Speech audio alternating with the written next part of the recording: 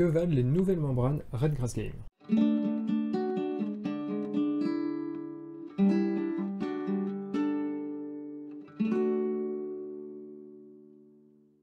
Et salut les copains, très bienvenue dans cette nouvelle vidéo. Alors aujourd'hui, on va ressortir un petit peu de la série des tutos. Là, ça faisait un petit moment que je faisais quasiment plus que des tutos peinture sur la chaîne, notamment avec la série Mortal Rims, que je t'invite à découvrir dans les anciennes vidéos si tu les as pas vues, évidemment. Et aujourd'hui, on va parler un petit peu plus en détail de la euh, palette Redgrass Game, ou plus particulièrement de l'ensemble du Kickstarter. Mais l'ensemble du Kickstarter, finalement, c'est en grande partie les nouvelles membranes. Ces nouvelles membranes qui se veulent un peu révolutionnaires, on va pas se mentir, puisque ce sont des membranes qui sont réutilisables dans la palette humide de Rengrass, contrairement aux anciennes qui étaient jetables. Une fois qu'on les avait utilisées, on ne pouvait pas les réutiliser. Là, on va décortiquer un petit peu tout ça pour savoir bah, tout simplement ce que ça vaut, si ça vaut le coup d'y aller ou pas. Avant de commencer la vidéo et de rentrer dans le détail de ce que j'ai à vous raconter sur cette palette, et en tout cas sur les membranes, je voulais préciser deux petites choses. La première, c'est que vous l'avez peut-être vu euh, depuis très récemment, je dirais peut-être depuis une semaine, quelque chose comme ça. Euh, il y a maintenant des publicités sur la chaîne. Alors, si vous ne vous en êtes pas rendu compte, eh ben, tant mieux. Si vous vous êtes rendu compte de ce petit changement, je vais tout de suite vous expliquer pourquoi. C'est tout simplement, alors j'avais pour objectif de laisser la chaîne sans pub. Mais récemment, YouTube a changé ses euh, conditions d'utilisation. Vous l'avez peut-être vu chez d'autres youtubeurs parce que ça fait quand même pas mal euh, parler. Le fait est qu'aujourd'hui, on peut choisir de ne pas euh, demander de rémunération pour des pubs, mais dans tous les cas, YouTube se réserve le droit tout simplement bah, de, mettre des pubs. Donc là, j'avais deux choix, tout simplement. Soit je disais, ah bah non, je veux pas être payé, mais vous pouvez mettre des pubs, et sachant qu'à ce moment-là, je n'avais aucun contrôle sur le nombre, euh, l'emplacement dans les vidéos ou quoi que ce soit, euh, oui, le type de pub aussi, parce que ce qu'il faut savoir, c'est qu'on peut choisir un petit peu le type de pub, et j'ai pas mal décoché les cases, parce qu'il y en a qui sont pas top top, je trouve. Et donc du coup, le deuxième choix, c'était de dire, ok, euh, je fais partie de ce qu'ils appellent le, le, programme partenaire YouTube, et à ce moment-là, j'ai un peu plus de contrôle, et puisque de toute façon, il y aura des pubs, et eh ben autant que ça soutienne la chaîne. Donc voilà pour ce petit changement. Je suis désolé si ça en gêne certains, mais euh, voilà, c'est les nouvelles règles de YouTube, il n'y a pas vraiment le choix. Maintenant, la deuxième chose que je voulais vous dire, que je voulais vous préciser, c'est que tout ce que je vais vous raconter sur euh, Redgrass Game n'est absolument pas le fruit d'une rémunération, ce n'est pas une vidéo sponsorisée. Par contre, j'ai reçu gratuitement, ils m'ont envoyé les membranes pour que je puisse les tester. Alors évidemment, euh, je les ai reçus gratuitement, je ne les ai pas payés. Est-ce que ça change mon jugement? Je ne pense pas. Euh, j'en ai déjà parlé, je pense vraiment essayer d'être le plus objectif possible. Quoi qu'il en soit, le gros point positif, c'est que ça m'a permis de les utiliser plusieurs semaines euh, et je les ai bien bien utilisés pour pouvoir vous parler de tout ça. Donc c'est parti, on va faire un petit peu le tour des plus, des moins de ces membranes. Alors dans cette vidéo, on va vraiment rentrer dans le détail de chaque euh, point positif et de chaque point négatif sur ces nouvelles membranes, mais je vais d'abord vous faire une petite liste, un petit condensé pour ceux qui seraient vraiment euh, très pressés, qui n'auraient pas vraiment le temps de regarder toute la vidéo. Même si, bon voilà, c'est mieux si vous regardez toute la vidéo, hein, bien sûr. Mais en tout cas, je vais vous faire la petite liste. Donc la première chose, c'est la durée de vie de la membrane. On va rentrer un petit peu plus dans le détail, mais pour moi, ça fait clairement partie des gros points positifs. Ça, c'est une certitude. La deuxième chose, c'est comparé aux anciennes membranes, je trouve que, notamment sur le long terme, la planéité, l'adhésion de la membrane à, la mousse, en fait, est bien meilleure. Euh, et ça, ça s'explique aussi par une caractéristique qui est un deuxième, enfin un troisième, du coup, point positif, c'est que les membranes sont plus épaisses, elles sont plus larges et elles sont plus solides. Le quatrième point positif, c'est que je trouve qu'elles permettent un contrôle bien meilleur en termes de dilution. On va le voir dans le détail, mais en gros, elle laisse passer moins d'eau que les anciennes membranes, donc ça a quand même un vrai avantage qu'on va détailler un peu plus tard. Et enfin, on parle de membranes réutilisables, donc évidemment, c'est qu'elles sont lavables, et ça c'est un vrai point positif aussi, elles se lavent très très facilement. Je vous montrerai comment je les lave, et franchement, c'est sans appel. En termes de points négatifs, parce que quand même, il y a toujours un peu des points négatifs, évidemment, et eh bien tout simplement, ceux qui ont été habitués à l'ancienne membrane, et donc à la dilution que propose cette ancienne membrane, bref, qui ont utilisé l'ancienne membrane d'une manière générale, ça peut être déroutant. Au début, ça m'a fait bizarre, on va voir pourquoi, mais c'est vrai qu'il faut le prendre en compte. Et le deuxième point qui est un petit peu négatif aussi, c'est que euh, on peut avoir la sensation que la peinture sèche un peu plus vite, puisque la palette laisse passer un peu moins d'eau. Pendant les sessions de peinture, quand la palette est ouverte pendant une longue période, elle peut sécher un petit peu plus vite que ce qu'on avait l'habitude d'avoir sur les anciennes euh, versions de la membrane. Mais, parce qu'il y a un mais, en termes de conservation de la peinture, c'est pas forcément le cas. C'est-à-dire qu'elle va pas forcément se garder moins longtemps, et pour ça il faut regarder la vidéo. Alors, eh ben, comme je disais, le premier point positif pour moi, c'est la durée de vie des membranes. Puisque ici, on nous vend une membrane réutilisable, donc évidemment, bah, on attend à ce qu'elle le soit vraiment. C'est-à-dire que si la membrane, il faut déjà la jeter au bout de deux ou trois utilisations, Bon, est-ce qu'il y a vraiment un intérêt? Parce que c'est vrai que euh, bah voilà, quand, on, utilise quelque chose avec un critère de, réutilisation, on pense euh, économie euh, financière, on pense aussi écologie. Donc il faut vraiment que la durée de vie soit plus longue pour que ça soit intéressant. parce que aussi il faut prendre en compte l'eau qu'on utilise par exemple pour, nettoyer la membrane ou autre. Donc on va comparer ça avec les membranes précédentes évidemment. Mais les membranes précédentes c'est très simple, on l'utilise, une fois qu'elle est pleine, il faut la changer. Et donc du coup là-dessus c'est le plus simple. Ici comment ça se passe? Et eh bien concrètement, quand on a une nouvelle membrane, elle ressemble à ça. Donc on a un aspect un peu euh, verni, un peu plastifié sur le dessus, ici, on le voit hein, avec une, petite brillance. Et euh, au dos, on a pour le coup quelque chose de beaucoup plus mat, de beaucoup plus opaque, avec euh, des inscriptions dessus, qui permettent d'identifier plus facilement le côté de la membrane qui est à utiliser. Puisque ici, sur ce côté-là, on a euh, le côté où il faut déposer la peinture et sur ce côté-là, ici, c'est le côté qui va être en contact de la mousse, de la mousse de la palette, celle qui va être gorgée d'eau. Donc c'est vraiment une membrane à sens unique et une fois qu'on l'installe dans la palette, ça donne ça. Donc là, on a bien notre membrane avec en dessous la mousse et on voit que elle s'installe parfaitement en prenant en considération que ici je suis sur l'ancienne version de la palette euh, Game, je n'ai pas la nouvelle version, donc les nouvelles membranes s'intègrent parfaitement dans les anciennes palettes également. Alors, me dire, bah oui, mais là, comment est-ce qu'on va voir la durée de vie de la membrane? Et eh bien tout simplement parce que, comme je vous l'ai dit en introduction, moi je l'ai utilisée pendant un petit moment, cette membrane, notamment une membrane en particulier que j'ai utilisée et qui est ici. Voilà, donc là, sur cette membrane qui maintenant a séché, hein, parce que je l'ai sorti de, je sorti de la palette. D'ailleurs, ce serait intéressant juste pour savoir, hein, de, la remettre dans la palette, je ne l'ai pas fait, pour savoir si elle se réimbibe et du coup si elle se, si elle se réaplatit. Mais sur cette, sur cette membrane, je l'ai utilisée, alors en vrai j'ai arrêté de compter, mais je, je sais que je l'ai utilisé plus de 15 fois. Je pense que je l'ai utilisé plus de 20 fois. Je suis quasi sûr de l'avoir utilisé plus de 20 fois. Donc quand je dis 20 fois, c'est-à-dire que je l'ai utilisé, puis je l'ai lavé. J'ai fait ce cycle, je pense, au moins une vingtaine de fois. Et voilà l'état de la palette, de la, membrane, pardon. Donc là, en vrai, je l'ai changé aussi pour voir si ça avait une incidence sur le comportement de la peinture. Parce que, étant donné que je réutilisais constamment celle-ci, je me rendais pas compte si finalement il y avait une perte de qualité en termes de peinture. Je ne l'ai pas ressenti, donc je pense qu'il n'y en a pas. Et en effet, en peignant sur une membrane neuve, je n'ai pas constaté de réelle différence. Alors ici, on commence à voir évidemment que la membrane, elle commence à s'abîmer, il y a des taches un peu partout. On voit même de l'autre côté que les, inscriptions sont un petit peu plus difficiles euh, à lire, même si on lit toujours. Hein. Euh, ici, euh, Hydratation Membrane, Painter, Red Grass, et ainsi de suite. Donc, on voit quand même qu'il y a une vraie bonne durée de vie, c'est-à-dire qu'on n'est pas sur 3 lavages, on n'est pas sur 5 lavages. Moi, aujourd'hui, j'en suis à plus de 15, je pense, je suis quasi sûr d'en avoir plus de 20 sur celle-ci.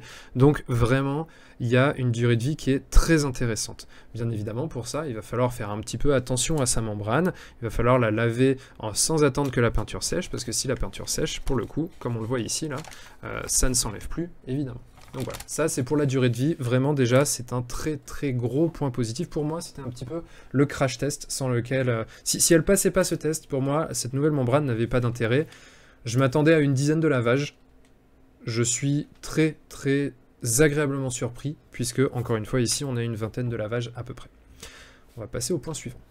Alors pour le point suivant, c'est tout ce qui concerne la planéité. La planéité de la membrane, euh, c'est ce que, en, gros, j'appelle planéité de la membrane le fait qu'elle vient parfaitement épouser la mousse qui est euh, en dessous. Donc voilà, ici on se rend compte sur cette membrane qu'il n'y a absolument aucune bulle, aucun trait. Ici là on a juste un petit creux qui est là, mais qui est plus du fait de la mousse en dessous, qui s'est légèrement rétracté parce qu'ici euh, en, trois jours au frigo, pardon, elle a perdu un petit peu d'humidité. Mais sinon, la planéité est parfaite, c'est-à-dire qu'il n'y a aucune bulle. Et ça, c'est vraiment, je pense, dû au fait que, euh, tout simplement, ils ont revu la, membrane, en fait, qui est plus lourde, qui est plus épaisse. Et donc, du coup, étant donné qu'elle est plus épaisse, vraiment, elle vient épouser parfaitement la forme, euh, et vraiment, elle reste très, très stable. Et ça, c'est quelque chose aussi qui m'inquiétait un petit peu dans le caractère réutilisable, parce qu'on le sait, sur les anciennes euh, membranes, au bout d'un moment, euh, la membrane, elle avait un peu plus tendance bah, à, faire des petites, des petites bosses, des, petites veines, on va dire, sur, le, sur, le, sur le papier, sur la, sur la mousse. et bien là, en l'occurrence, pour l'autre membrane, quand, je vous disais sur celle-ci que j'avais utilisé déjà une vingtaine de cycles, il y avait encore à la fin aucun problème de planité, c'est-à-dire qu'elle était systématiquement plate, 100% plate. Il y avait aucune bulle, il n'y avait aucun trait d'air sous la membrane. Donc vraiment, ça c'est un gros plus aussi. Là-dessus, sur ces deux points-là, entre le côté réutilisable et le fait qu'il y ait une planité parfaite, c'est euh, des vraies, vraies améliorations là-dessus. Donc là, je vais aussi montrer, tant qu'on y est, donc si j'enlève cette membrane-là, je vais montrer comment ça se passe quand on installe une nouvelle membrane, évidemment. Alors déjà, la chose à faire, bien sûr, c'est de bien réhydrater la mousse. Je vais pas non plus la surcharger. Là, il y en a un peu trop. Donc je vais en enlever un petit peu. Donc là, on a une membrane qui est une, mousse qui est bien imbibée, mais qui bouge pas toute seule non plus, qui se tient un petit peu quand même. Donc on est bien. Et là, si je viens, je vais essayer de la mettre bien au centre, comme ça. Si je viens appliquer la membrane, elle va rebiquer très légèrement sur les côtés et c'est tout. Voilà. Tout de suite, elle se pose nickel. On vient réaplatir un tout petit peu les côtés ici et là. Voilà, comme ceci. On chasse éventuellement l'air qui pourrait être passé. Hop, et voilà. Alors ça c'est pas de ça c'est pas une bulle ici, c'est parce que je suis passé avec le doigt mouillé. Donc là, si on passe avec le doigt mouillé sur toute la surface, ça va l'hydrater légèrement. Elle va changer un tout petit peu de couleur. Elle va se griser parce que tout simplement elle va se gorger d'eau. Là, je l'accélère en passant le doigt dessus, mais ça, ça se fait naturellement en fait si, si je passe pas le doigt. C'est juste pour montrer que ce ne sont pas des bulles d'air. Voilà, je mouille l'intégralité de la membrane. Voilà, ça c'est si vous le faites pas, si vous passez pas le doigt comme ça, c'est quelque chose qui se fait en, quelques, minutes, il hein, n'y a pas de souci. Euh, donc du coup, on a une planéité qui est parfaite et vraiment qui va, qui va rester comme ça, même qui va, qui va s'améliorer au fur et à mesure euh, des utilisations. Là par exemple, si il suffit que je l'enlève, hop, par exemple, je sais pas, voilà, je la retourne. Parce que bon, quand on va la laver, on va pas forcément la garder dans le même sens. Hop, je la repositionne. Et voilà, il n'y a pas de bulle d'air, il n'y a rien. Elle est bien plate, parfaitement adhérée. Elle a parfaitement adhéré à la mousse. Donc ça, c'est vraiment un gros gros point positif, euh, parce que bah, bien évidemment, s'il y a des bulles d'air en dessous, ça accélère le séchage de la peinture. En l'occurrence, ça n'est pas le cas. Donc ça aussi, deuxième gros point positif. Un autre point positif que je mentionnais plus tôt dans la vidéo, c'était l'épaisseur et la largeur de la membrane. Donc l'épaisseur pour sa solidité dans le temps, et notamment au, moment des lavages, bien sûr, mais aussi la largeur pour le confort de peinture. Donc là, en termes de largeur, euh, on voit là, ça, c'est une ancienne membrane, celle-ci, versus la nouvelle qui est là. Et donc, on le voit tout simplement si je viens poser pile par-dessus.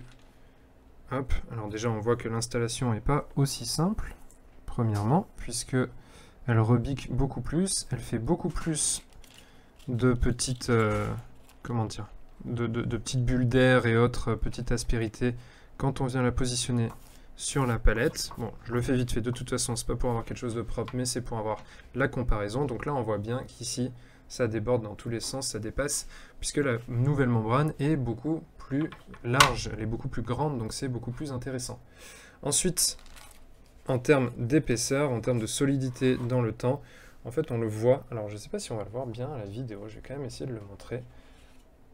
l'opacité est pas la même. Bah voilà, si en fait on le voit parfaitement, l'opacité est pas la même. À travers de celle-ci, on voit vraiment au travers, elle est beaucoup plus fine, alors que celle-ci est beaucoup plus épaisse, elle est, opaque en fait, on voit pas au travers, ça montre bien qu'elle est plus épaisse. Et donc du coup, tout simplement, c'est quelque chose qui va beaucoup plus se tenir dans le temps, pas uniquement en ce qui concerne les lavages, mais aussi quand on vient jouer avec sa peinture, quand on vient faire des petits mélanges, des trucs comme ça, parfois à force sur l'ancienne euh, version, même si, encore une fois, hein, attention, dans tout ce que je dis, cette version est déjà très très bien, je la recommandais et je la recommande encore, mais euh, quand on utilise le pinceau et qu'on vraiment en venait à la on venait la, travailler un petit peu trop, euh, ça pouvait pelucher un tout petit peu. Là, sur la nouvelle version de la membrane, c'est absolument impossible. En tout cas, moi, ça ne me l'a pas fait sur les 20 utilisations. Donc, si ça ne le fait pas sur 20 utilisations, j'en conclus que ça n'est pas le cas.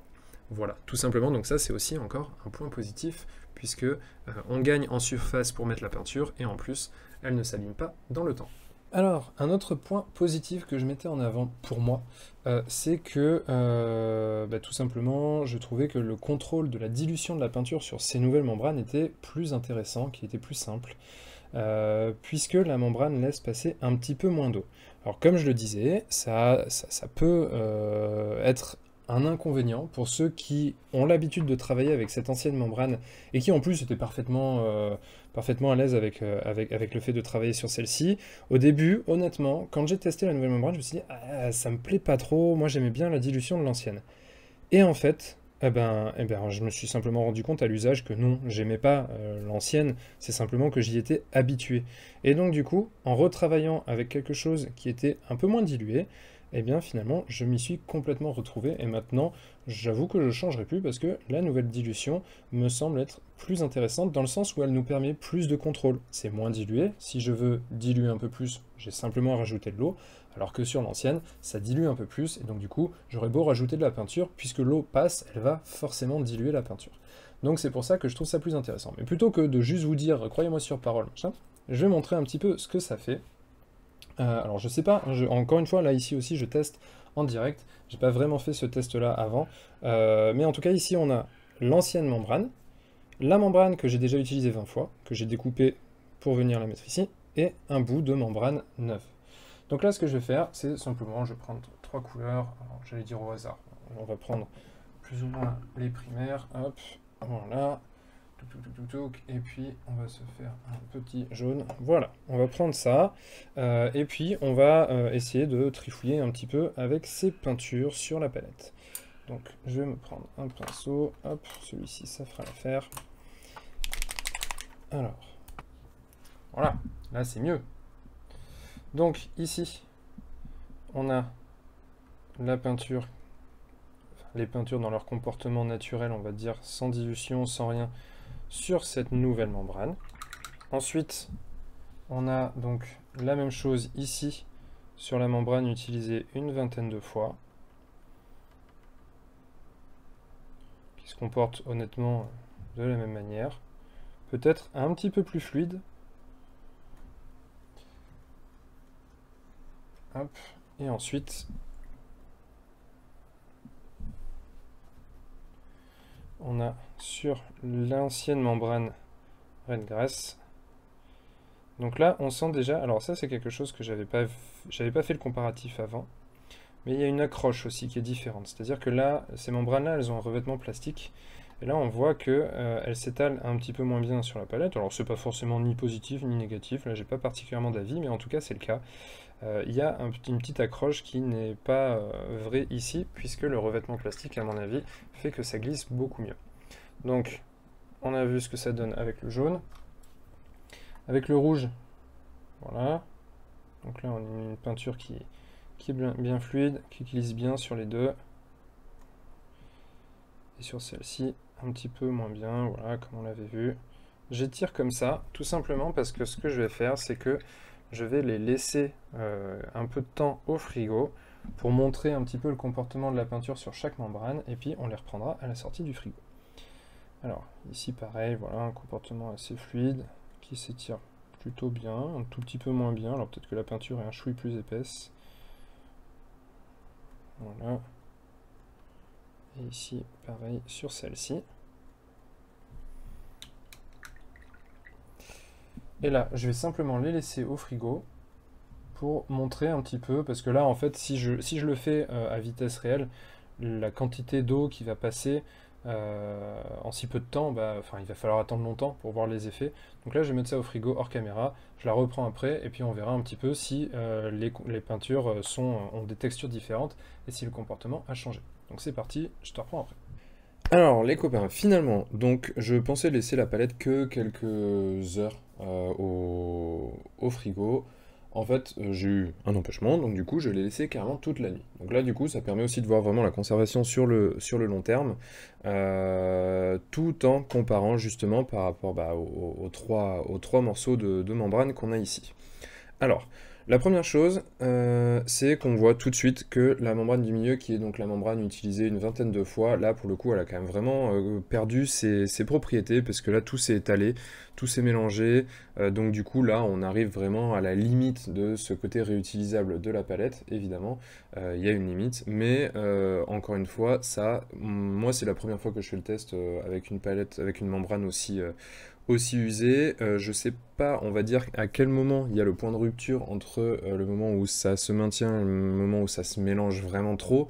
Euh, mais d'une manière générale, quand on est sur les premières utilisations, ça n'arrive pas alors, j'allais dire ça n'arrive pas, mais du coup, enfin, j'ai dit ça n'arrive pas d'ailleurs, je l'ai dit. Mais en fait, je vais dire ça arrive peu, puisque là, j'ai le contre-exemple. Cette fois-ci, c'est arrivé, donc je voulais le laisser pour la vidéo pour montrer que je ne triche pas. Euh, mais c'est vrai que là, j'ai été surpris parce que d'habitude, ça ne le fait pas. Euh, alors là, la peinture rouge était particulièrement fluide, donc c'est peut-être ça qui a fait que. En tout cas, on voit aussi une différence entre la nouvelle membrane et l'ancienne membrane, puisque la nouvelle membrane, comme je le disais, elle a un revêtement un peu plus plastifié, donc du coup elle est plus, euh, lisse, elle laisse plus bouger la peinture. Du coup, on n'a pas ça sur l'ancienne membrane, puisque là, sur l'ancienne membrane, c'est parfaitement intact par rapport, à, on va dire, à la dispersion de la peinture.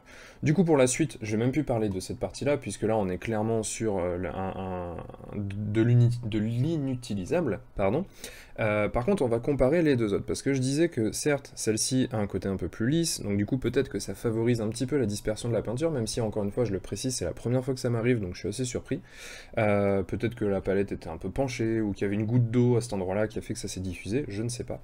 Quoi qu'il en soit, on va aussi regarder, parce que c'était un petit peu le but de ce test, euh, bah, tout simplement la conservation de la peinture. Et déjà, rien qu'au visuel, on voit sur en tout cas une couleur qu'il y a quelque chose qui est marquant, euh, c'est sur la peinture bleue. Sur la peinture bleue, donc ici, on a une petite dispersion, un, un petit déphasage en fait, avec des petites traces comme ça qui sont par-ci par-là, sur la nouvelle membrane, sur la V2 de la membrane. Sur la V1, là, on est complètement déphasé et on est très liquide. On voit bien que les pigments sont vraiment complètement déphasés. Je peux même ressortir des traces de blanc, en fait, dans le, dans la peinture. Donc là, on est obligé de repasser par un mélange, un gros mélange comme ça, pour retrouver la couleur initiale. Et dans tous les cas, on n'aura pas la texture initiale, puisque euh, là, on sent qu'il y a quand même beaucoup, beaucoup plus d'eau. Là, la peinture n'avait pas été diluée à la base et on sent qu'elle est beaucoup plus fluide. Elle est moins couvrante. Alors, je vais montrer sur mon doigt. Hop, voilà, on sent qu'il y a un petit côté euh, transparent qui se, dessine là sur le bord du pouce. Alors on voit pas très bien parce que la mise au point est faite sur la palette. Mais quand je fais la mise au point, voilà, on, commence à perdre en couvrance, comme je le disais, justement parce que on a cette, euh, ce côté aqueux qui est davantage présent. Elle laisse passer plus d'eau, donc elle dilue davantage la peinture. Alors que sur la peinture de l'autre côté, ici, non seulement on a déjà la couleur, et d'ailleurs on, voit qu'on a plus conservé même la couleur, parce que là on est un peu plus foncé que là. Donc ici il y a eu une altération un petit peu de la couleur. Et là on est vraiment sur une peinture encore fraîche. Elle est encore euh, tout à fait euh, utilisable, elle, est, elle a les mêmes propriétés que quand on l'a posée la veille. Donc là pour le coup on est sur quelque chose qui est beaucoup plus couvrant. Voilà, on est sur une opacité qui est supérieure, puisque ça reste de la peinture fraîche. Là, pour le test, j'avais mis de la peinture pure sans la diluer. Donc ce qu'il faut bien comprendre, c'est que quand on utilise notre peinture, quand on utilise notre palette, on va diluer un petit peu la peinture. Si on a déjà dilué la peinture et qu'on se retrouve avec une surdilution, euh, même si elle est légère, hein, comme ici, forcément ça va altérer, encore une fois, les caractéristiques de la peinture, un petit peu euh, ça, le contrôle qu'on a sur celle-ci. Et là on le voit bien, et donc du coup c'était un peu ça que bah, que je voulais mettre en évidence tout simplement. Sur les autres peintures, on a un peu le même phénomène. Voilà, on a une peinture ici qui est très très fluide avec la peinture rouge. Donc là, si je la prends sur le doigt, voilà, on a encore une fois cet effet de transparence qui opère un petit peu. Euh, on, a, vraiment euh, une fluidité qui est plus importante. Donc encore une fois, ici ça fonctionne parce que la peinture que j'avais mise était une peinture qui n'était pas diluée, mais si j'avais déjà un petit peu dilué la peinture, là on aurait un peu plus de la flotte. Alors que de ce côté-là, pour le coup, on a gardé encore une fois une opacité qui est supérieure. Voilà, on le voit, en fait, l'intensité de la couleur, l'opacité euh, est plus importante sur euh, l'ancienne membrane. Donc on a une altération de la peinture qui est un peu moins importante.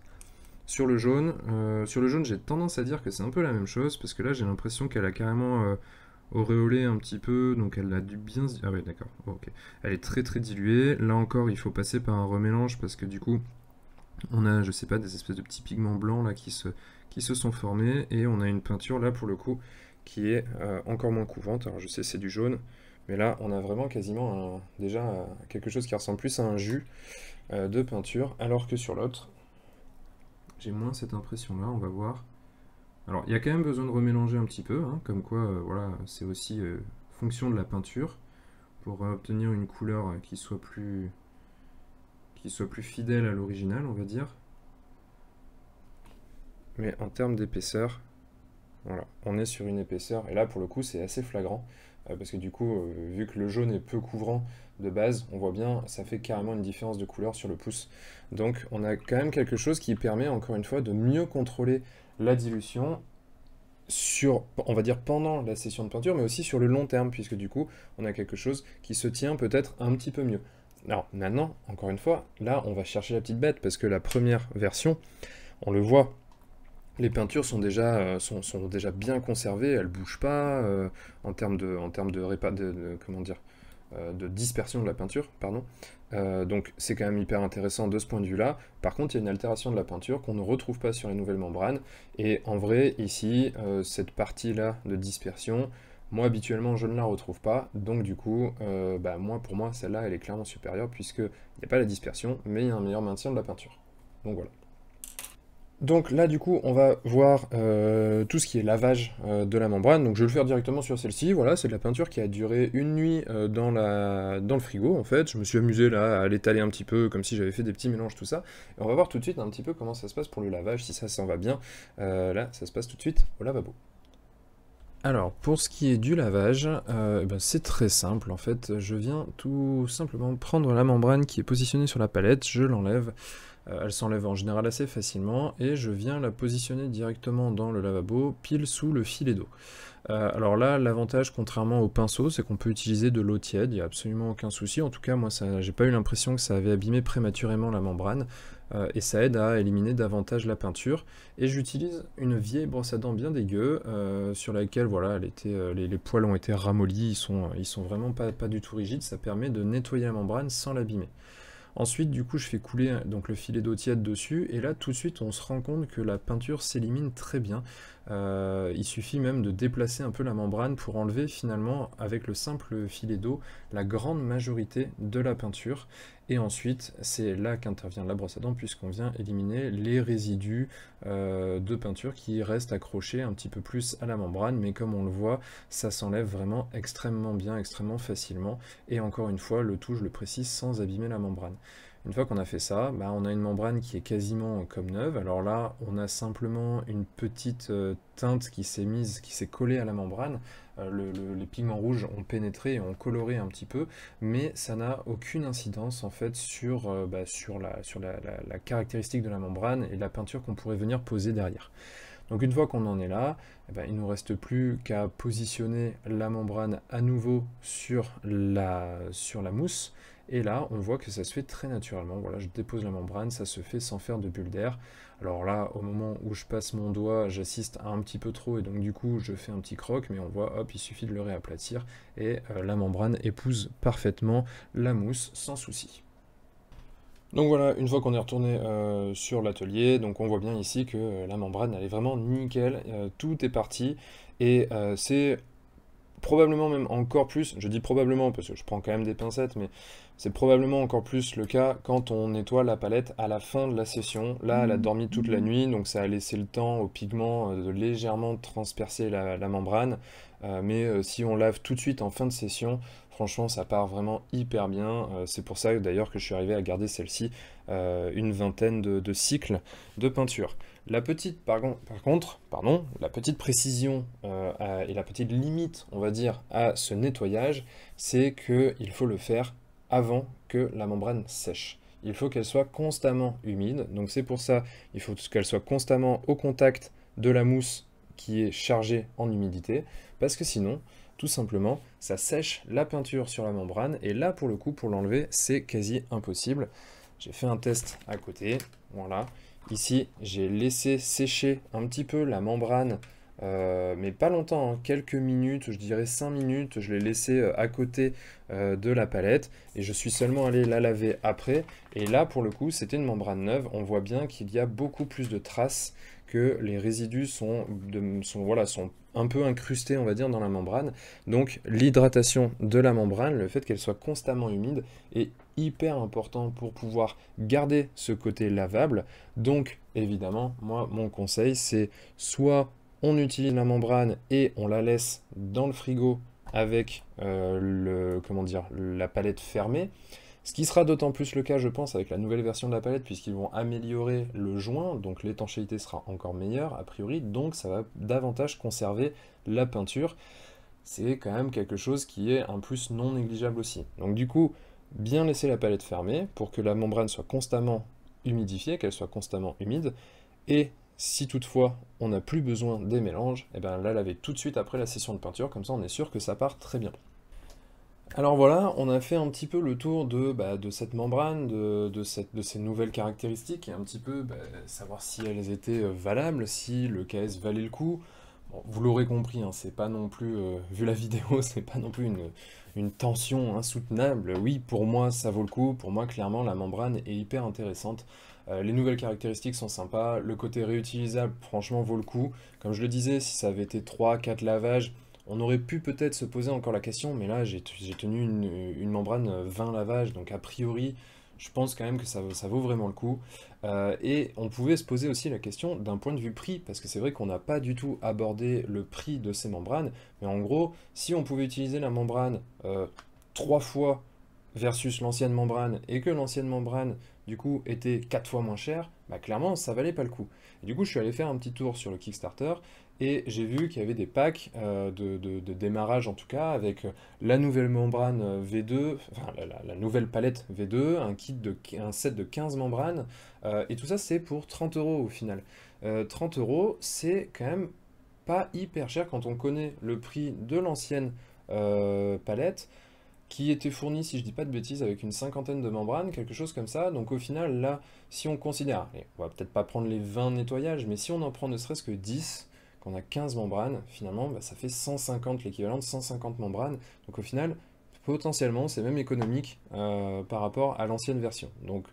Personnellement, je trouve que c'est hyper intéressant. En plus, du coup, la nouvelle version de la palette, elle va être améliorée parce que tous les accessoires, ils vont être sur un, système de glissière et non pas un système aimanté. On va avoir aussi euh, un nouveau joint d'étanchéité qui va mieux conserver la peinture a priori. Donc tout ça, c'est des éléments qui sont hyper importants. La mousse, elle, je crois, ne change pas, mais elle était déjà hyper qualitative. Donc ça, pour le coup, il n'y avait pas vraiment besoin d'amélioration. Bref, pour moi, il n'y a pas grand-chose qui m'empêcherait, maintenant que je l'ai testé, d'y retourner. Donc, bah, forcément, je ne peux que euh, te la conseiller. Évidemment, si tu en as le besoin, si tu en as l'envie, si tu as le budget, tout ça, bien sûr, mais en tout cas, je trouve que c'est hyper intéressant, et tu l'as vu, même si tu souhaites pas racheter tout le pack avec toute la palette, tout ça, parce que tu dis, bah, ok, j'ai la mienne, ça me suffit, tu peux toujours racheter les membranes, parce qu'elles marchent dedans, simplement, faut pas, faut pas se tromper entre la version XL, qui est pour la grande, grande palette, la bleue, et la version plus classique, qui est sur la petite orange, moi c'est la orange que j'ai, tout le monde s'en fout, mais je le dis quand même. Bref, en tout cas, voilà, pour la conclusion, je pense qu'on a fait le tour. Bref, voilà pour le check-up complet de cette nouvelle version de la palette Redgrass Game et des membranes. Si tu as la moindre question sur quelque chose que je n'aurais pas abordé dans cette vidéo par rapport à la membrane, par rapport à la palette ou quoi que ce soit d'autre, ou même les autres accessoires de Redgrass, hein, j'ai pas parlé euh, de la poignée, j'ai pas parlé des pinceaux, tout ça, n'hésite pas à me poser les questions dans les commentaires. Si j'ai les réponses, je me ferai un plaisir d'y répondre. Maintenant, je vais te laisser sur cette vidéo. La semaine prochaine, on a euh, bah, un gros planning qui arrive parce que euh, c'est ma petite painting week, c'est-à-dire que là je vais passer la semaine à faire que pendouiller dans tous les sens. Il va y avoir un live lundi, la vidéo euh, hebdomadaire le mardi, encore un live le mercredi. On va également avoir un live peinture le jeudi soir euh, et celui-ci est déjà fixé puisque ce sera la peinture d'un Stormcast de Mortal Rim en direct sur la chaîne Twitch Entre Jeux Studio. On a aussi un rapport de bataille AOS, toujours sur Entre Jeux Studio, euh, où je vais jouer avec Clément. Euh, lui aura les Stormcast et moi j'aurai les Night Et ensuite, le clou du spectacle, la petite cerise sur le gâteau, je fais un live qui va durer 24 heures non-stop de samedi à dimanche. Pour l'instant, a priori, ça va commencer à 11h le samedi, ça finira donc à 11h le dimanche. J'espère que vous serez nombreux à vous succéder sur la chaîne pour m'accompagner tout au long de ce live 24 h où je vais essayer bah, de peindre voilà, pas mal de choses. Euh, parce que bon, en 24 h logiquement, il y a de quoi faire. Maintenant, je vais avoir besoin de vous pour pas m'effondrer de fatigue pendant le live. En tout cas, je compte sur vous. Bien sûr, n'oubliez pas de liker, partager la vidéo, tout ça, c'est toujours hyper intéressant, important pour la chaîne bien sûr. Euh, on se rapproche tout doucement des 10 000 abonnés, c'est pas vraiment un objectif, mais en même temps c'est une sorte de, petite barrière qui serait assez sympa à franchir, et pour ça, bah, bien évidemment, vos partages sont hyper utiles. N'oubliez pas aussi de vous rendre sur le blog apprendre la peinture sur figurine.com où j'ai toujours et encore le petit guide du débutant en téléchargement gratuit.